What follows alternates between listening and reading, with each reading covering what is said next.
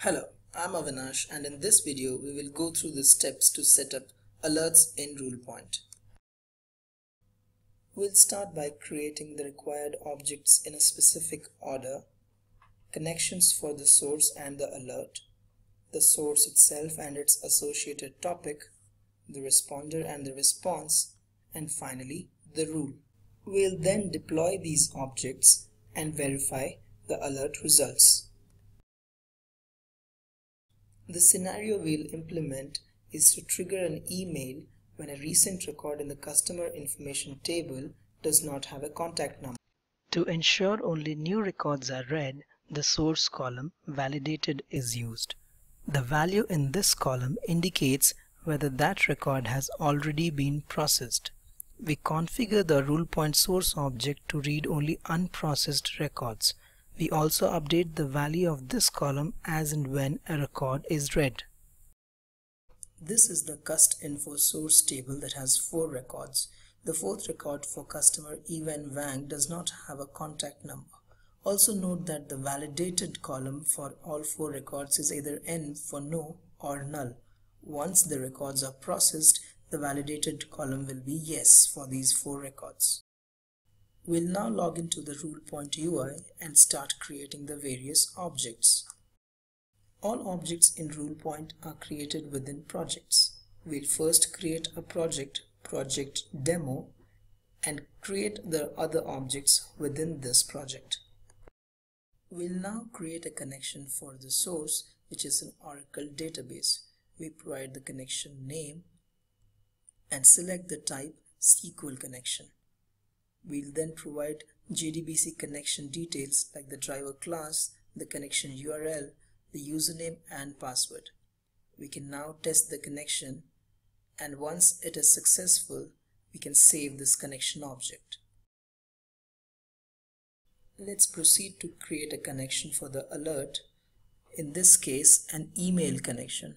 We provide a name for the connection and choose the type email connection and provide basic detail like the email server.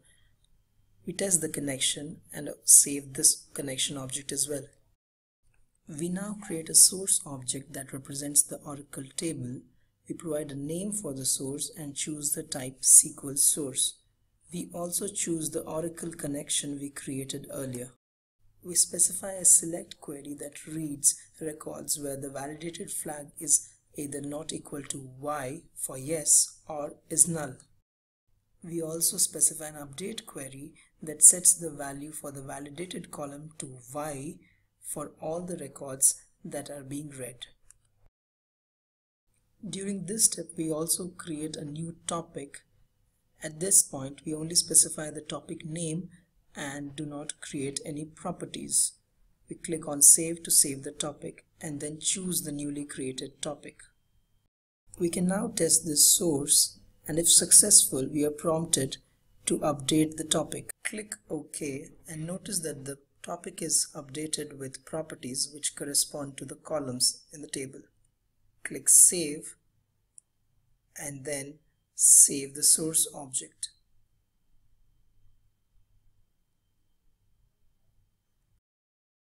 The source object is currently invalid because there is no schedule attached to it.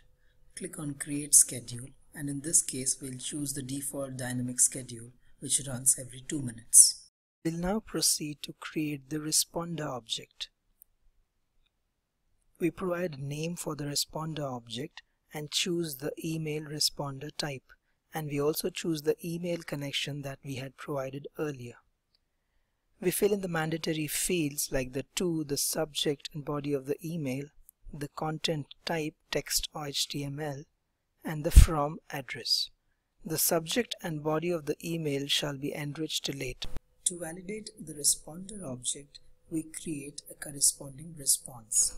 Click on create response, enter a name for the response, edit the subject and the body of the email response as necessary. In this case, we'll enrich the email body in, within the rule. Click on save and then click OK. We now proceed to create the last object, the rule. Click on actions, new, advanced rule.